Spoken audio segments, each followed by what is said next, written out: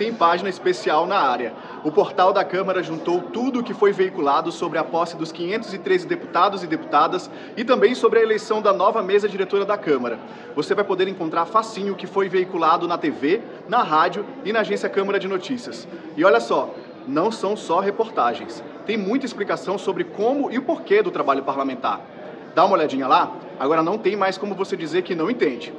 Para ter acesso a essa página especial, é só pressionar a tela desse vídeo por dois segundos e depois clicar em descrição. Lá está o link para você.